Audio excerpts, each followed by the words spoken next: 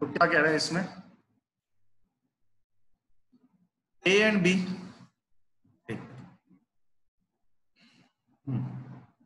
A and B can do a job in 15 days and 10 days respectively ठीक है? ए कितने दिन में करता है बेटा? 15 डेज़ में।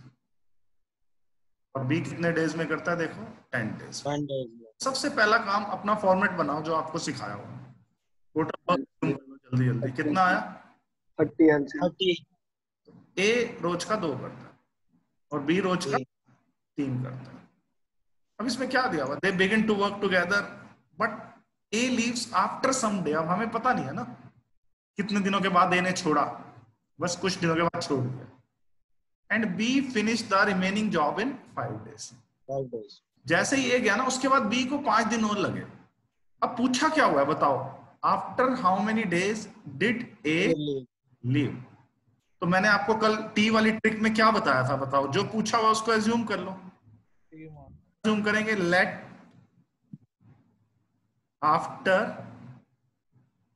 T days A leave ये डायरेक्ट टी की जो वैल्यू आएगी, फिर वही आंसर आ जाएगा हमारा। ठीक है? मान लो ए ने टी डेज़ के बाद छोड़ा। तो इस क्वेश्चन में ए ने कितने दिन काम किया इसका मतलब? टी डेज़ अब कोई मुझे ये बताएगा कि बी ने कितने दिन काम किया बताओ। T plus five days. Answers B ने कितने दिन काम किया बताओ। T plus five days. Two T plus plus five five very good B ने किया टी प्लस फाइव क्यों?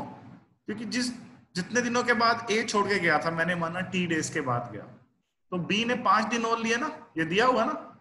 Yes sir is the remaining बस ये बन गया। अब ये बनते ही क्वेश्चन खत्म कैसे?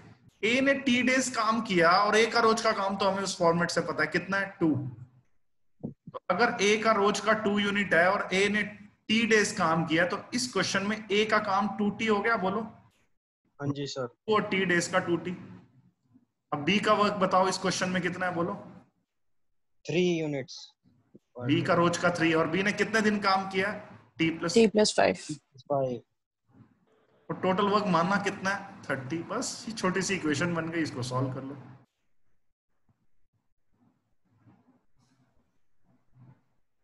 ठीक है?